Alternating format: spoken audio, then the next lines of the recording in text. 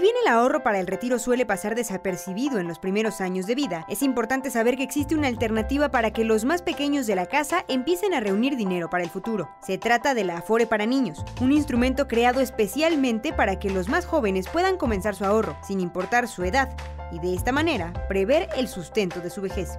Este consiste en una cuenta de ahorro a mediano o largo plazo registrada a nombre del menor, a la que no solo el pequeño, sino también sus papás y otros familiares podrán realizar aportaciones, que pueden ir desde los 5 a los 20 pesos diarios. De esta manera el ahorro irá creciendo y una vez cumplidos los 18 años será guardado en una Afore de acuerdo a la edad del joven. Abrir una cuenta de este tipo dependerá de los papás del menor y para ello es necesario contar con acta de nacimiento o pasaporte, identificación de los padres o tutores y un documento que acredite su tutela. Además, deberán llenar los datos e integrar los elementos del expediente de identificación y, por supuesto, firmar de consentimiento.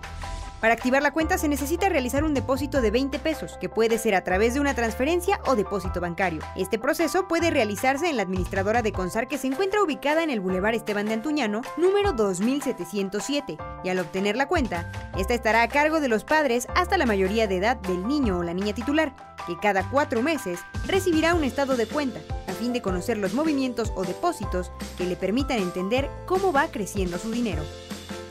Para Puebla Noticias, Carla Sánchez Castañeda.